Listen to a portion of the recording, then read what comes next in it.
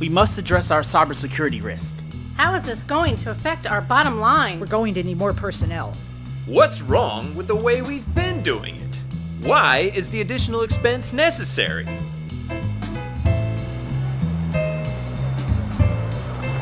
The cybersecurity framework in our mind has been so successful because um, it has very large, broad appeal to many organizations, um, small, medium businesses, large organizations. It cuts across all different segments, whether it's manufacturing, agriculture. It's a framework that can be used across many areas, many businesses, etc. So therefore, it's a very inclusive type of framework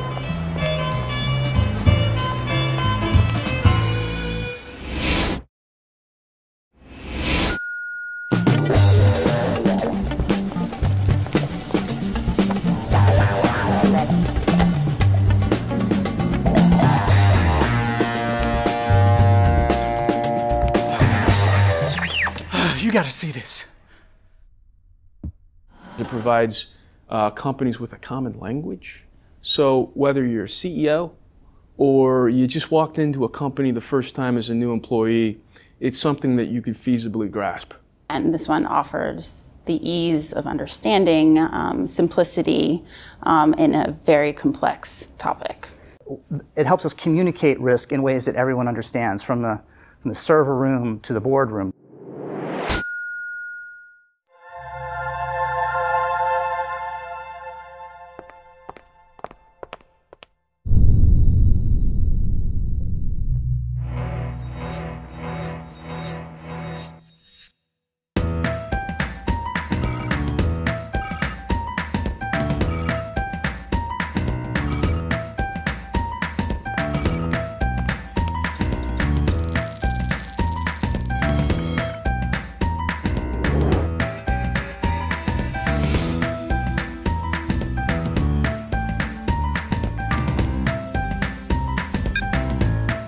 One of the areas that we found ourselves both challenged and stimulated by was building out the detect function.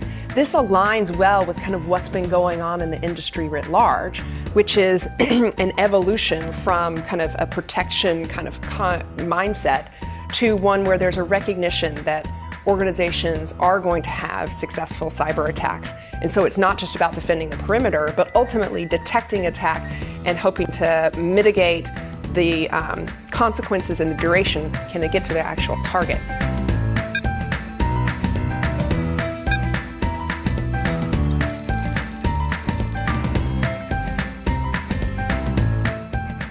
Hello, I see that you selected continuous monitoring. Are you also interested in response planning and analysis? Not today. We already have an existing cybersecurity risk practice, so we're only looking to add a few new categories at this time. Excellent. The framework is designed with exactly that type of flexibility. It allows you to choose what works for your particular risk disposition and business. Customize it to best suit your needs. Have a nice day, sir.